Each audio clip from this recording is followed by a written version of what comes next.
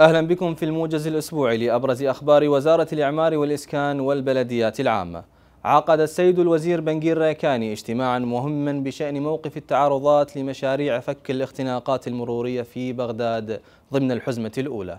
وتم استعراض التعارضات تمهيدا لحسمها والمباشرة بتنفيذ المشاريع المتبقية.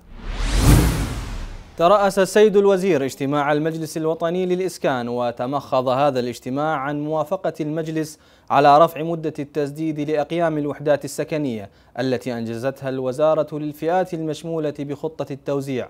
وافق المجلس على زيادة مدة السداد للمشتركين بالوحدات السكنية من 25 سنة إلى 35 سنة.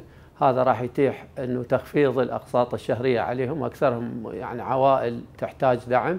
كذلك وافق المجلس على رفع توصية إلى الحكومة من أجل آه، إطفاء الديون المتبقية لفئات الشهداء المشمولة بالوحدات السكنية.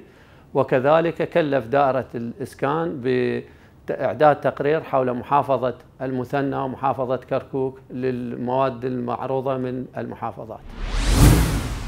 أكد وزير الإعمار السعي إلى مرحلة جديدة في التعاون مع الشركات الألمانية لتنفيذ عدد من مشاريع الوزارة في مختلف القطاعات. جاء ذلك أثناء لقائه وفدا ضم ممثلي الشركات الألمانية بحضور عدد من السادة المديرين العامين في الوزارة. إحنا مستعدين كوزارة حتى كحكومة. الآن الأجواء مختلفة جدا ومتوجهة نحو التعاون. أن نبدي مرحلة جديدة في التعاون مع الشركات الألمانية. نتمنى أنه أنتم تزيدون تواجدكم في الساحة العراقية وتزيدون تواصلكم مع المؤسسات العراقية وتكونون صبورين أكثر مع الهياكل الإدارية في العراق قد تكون الاستجابة لكم أبطأ من ما آه، تتمنون. على صعيد متصل وقعت الوزارة اتفاقية لإنشاء مشروع ماء الخضر والدراجي في المثنى مع بنك التنمية الألماني الذي سيخدم 173 ألف نسمة. ويتضمن محطة معالجة وتحلية الماء فضلا عن خطوط وشبكات ناقلة. أنجزت الوزارة أكثر من نصف أعمالها بمشروع ماء الشامية في محافظة الديوانية الذي سيوافر المياه الصالحة للشرب لأكثر من 300 ألف نسمة من سكان القضاء والمناطق المجاورة. ولمزيد من التفاصيل ينضم معنا مدير المشروع المهندس عقيل حسن. مشروع ماء الشامية الجديد آه الواقع في في قضاء الشامية بسعة 4000 متر مكعب بالساعة. يتكون المشروع من ثلاث مواقع رئيسية. موقع ال TP المعالجة وموقعين ال PS 1 وال PS 2 مواقع الضخ. يخدم آه، آه، المشروع منطقة قضاء الشامية والديوانية. باشرت الوزارة أعمالها بمشروع إنشاء الممر الثاني لطريق المقالع الحج البري في محافظة النجف الأشرف الذي يعد من الطرق المهمة والحيوية. ولمزيد من المعلومات بشأن المشروع ينضم إلينا مباشرة من هناك مدير المشروع وسيم عبد الستار. بداية مرحبا بك أستاذ وسيم. مشروع الممر الثاني لطريق المقالع كم تبلغ نسبة إنجازه؟ وما هي أهمية هذا الطريق؟ نعم أهلا وسهلا. تستمر شركة آشور العامة للمقاولات الإنشائية في مشروع طريق المقالع في محافظة النجف الأشرف بطول 27 كيلومتر آه، ويتضمن العمل حاليا في المقطع الثاني من المحطة 6 زائد 00 إلى 27 أعمال قشط وأعمال تبليط وأعمال صب السيطرة الأمنية وقامت الشركة آه، عن طريق التنفيذ المباشر آه، تجهيز معمل إسفلت والفرش من المحطة 27 زائد 00 إلى المحطة 24 والعمل مستمر حاليا طيب ما هي أبرز التعارضات التي تعيق عمل المشروع وهل هناك تنسيق مع باقي الدوائر لإنجازه؟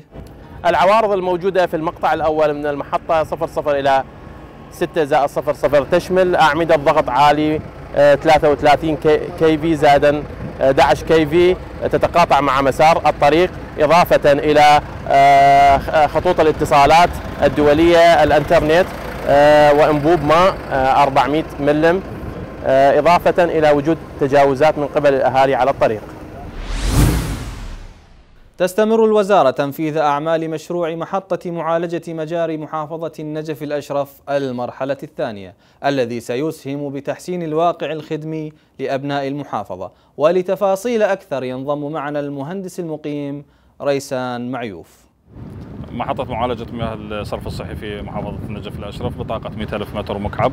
تخدم هذه المحطة مدينة مركز مدينة النجف. تعمل بتقنية التهوية المطولة. نسبة الإنجاز حاليا 87.3% من المؤمل أن تكمل تكتمل آه، عملية إنشاء المحطة في 2014 آه، نهاية 2014 العمل جاري حاليا على قدم وساق في تنفيذ الأعمال المدنية بالنسبة للدايجسترات. المراحل الأخيرة صب الرفعات النهائية للدايجسترات. تتزامن مع ذلك الأعمال الميكانيكية والكهربائية. الأعمال المدنية مع بدء الطرق وتأهيل الشوارع بالمشروع وربط الأجزاء الميكانيكية كاملة. إن شاء الله من المؤمل أن يكمل ضمن المدة المحددة له. باشرت الوزارة العمل في مشروع محطة معالجة مجاري تكريت بطاقة 36 ألف متر مكعب باليوم الذي سيسهم بتقليل أثر التلوث البيئي. ولمزيد من التفاصيل ينضم إلينا من موقع العمل مدير المشروع ماس بشير. بسم الله الرحمن الرحيم. باشرت آه، شركات زان وشمس سارة بالأعمال المدنية في محطة معالجة الضباعية المرحلة الثانية. حيث تجري الأعمال على قدم وساق في كافة الأحواض حفريات في أحواض الكلور آه، نجارة وتسليح في أحواض الترسيب تنظيف في أحواض البيولوجية تنظيف آه، الأعمال القديمة وتنظيف الساند بلاست وتنظيف المباني المهدمة في داخل سياج المحطة. أنجزت الوزارة 85% من مشروع إعادة إعمار جسر الموصل الخامس ومقترباته الذي يعد أكبر جسور العراق حيث يربط المحافظات الشمالية بالمحافظات الوسطى والجنوبية عن طريق ربط الساحل الأيمن عند أحياء المدينة القديمة بالساحل الأيسر. في الختام تابعوا منصاتنا الرسمية على مواقع التواصل الاجتماعي وموقع الوزارة الإلكتروني الظاهر أسفل الشاشة. تقبلوا مني أطيب التحايا وإلى اللقاء.